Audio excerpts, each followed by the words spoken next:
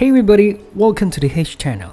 Today we're going to talk about the 9 signs you're dealing with an emotional manipulator. Emotional manipulators define logic. They derive satisfaction from controlling you and creating chaos. We don't know what it feels like to be emotionally manipulated. It can be extremely effective, which is why unscrupulous individuals do it so much. A few years ago, Facebook, in conjunction with the researchers from Cornell and the University of California, conducted an experiment in which they intentionally played with emotions of 689,000 users by manipulating their face so that some users only saw negative stories while others only saw positive stories. Sure enough, when these people posted their own updates, they were greatly influenced by the mood of the post they have been shown. Facebook can manipulate your emotions. Facebook caught a lot of flack over the experiment, primarily because none of the participants gave their consent to join the study. Perhaps more frightening than Facebook faux pas was just how easy people's emotions were manipulated.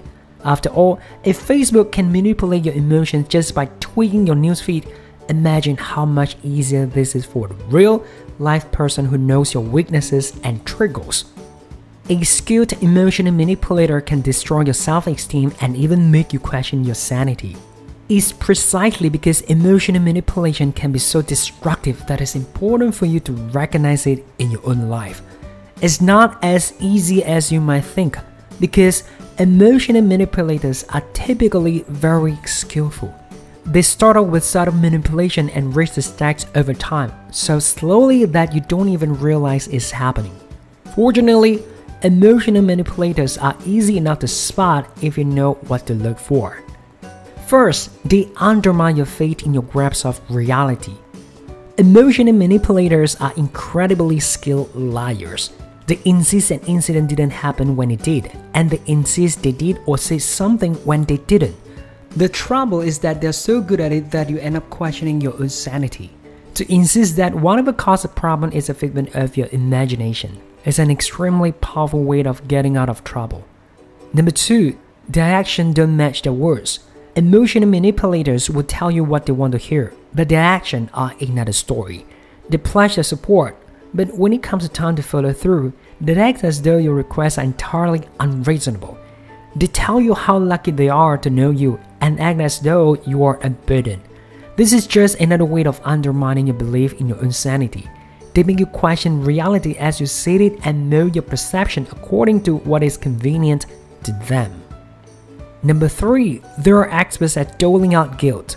Emotional manipulators are mastered at leveraging your guilt to their advantage. If you bring up something that's bothering you, they make you feel guilty for mentioning it. If you don't, they make you feel guilty for keeping it to yourself and stealing on it. When you're dealing with emotional manipulators, whatever you do is wrong, and no matter what problems the two of you are having, they are your faults. Number 4. They claim the role of the victim. When it comes to emotional manipulators, nothing is ever their fault. No matter what they do or fail to do, it's someone else's fault. Someone else make them do it, and usually it's you. If you get mad or upset, it's your fault for having unreasonable expectations. If they get mad, it's your fault for upsetting them. Emotional manipulators don't take accountability for anything. Number 5. They're too much too soon. Whether it's a personal relationship or the business relationship, emotional manipulators always seem to skip a few steps. They share too much too soon and expect the same from you. They portray vulnerability and sensitivity, but it's a ruse. The charade is intended to make you feel special for being let into their inner circle, but it's also intended to make you feel not just sorry for them but also responsible for their feelings. Number 6. They are an emotional black hole. Whatever emotional manipulators are feeling, they are geniuses at sucking everyone around them into those emotions. If they're in a bad mood, everyone around them knows it. But that's not the worst part. They're so skillful that not only is everyone aware of their mood, they feel it too. This creates a tendency for people to feel responsible for the manipulator's mood and obliged to fix them. Number 7. They eagerly agree to help and maybe even volunteer and act like the model. An initial eagerness to help swiftly morphs into signs, grunts, and suggestions that whatever they agree to do is huge burden. And if you shine a spotlight on that reluctance, they'll turn it around on you, assuring you that, of course, they want to help and that you're just being paranoid. The goal? To make you feel guilty, indebted, and maybe even crazy. Number 8. They'd always one up you. No matter what problems you may have, emotional manipulators have it worse. They undermine the legitimacy of your complaints by reminding you that the problems are more serious. The message? You have no reason to complain, so shut the heck up. Number 9. They know all your buttons and don't hesitate to push them. Emotional manipulators know your weak spots, and they're quick to use that knowledge against you. If you're insecure about your weight, they comment on what you eat or the way your clothes fit. If you're worried about an upcoming presentation, they point out how intimidating and judgmental the attendees are. Their awareness of the emotions is off the charts, but they use it to manipulate you, not to make you feel better. So, how to overcome manipulation? Emotional manipulators drive you crazy because their behavior is so irrational. Make no mistake about it, their behavior truly goes against reason. So, why do you allow yourself to respond to them emotionally and get sucked into the mix?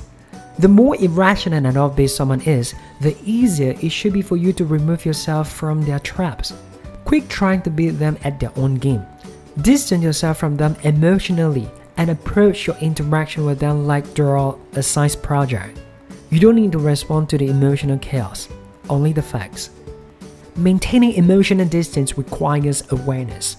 You can't stop someone pushing your buttons if you don't recognize when it's happening. Sometimes you'll find yourself in situations where you need to regroup and choose the best way forward. This is fine, and you shouldn't be afraid to buy yourself some time to do so. Most people feel as though because they work or live with someone, they have no way to control the chaos. This could be further from the truth. Once you have identified a manipulator, you will begin to find their behavior more predictable and easier to understand. This will equip you to think rationally about when and where you have to put up with them and when and where you don't. You can establish boundaries, but you will have to do so consciously and proactively. If you let things happen naturally, you are bound to find yourself constantly embroiled in difficult conversations. If you set boundaries and decide when and where you engage a difficult person, you can control much of the chaos. The only trick is stick to your guns and keep boundaries in place when a person tries to cross them, which they will. So bring it all together. Emotional manipulators can undermine your sense of who you are and even make you doubt your own sanity.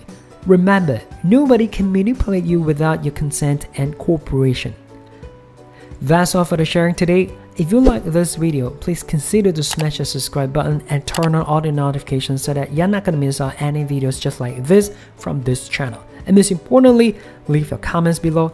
Let me know what you think. I would love to read and reply to your comments and I hope to see you in the next video.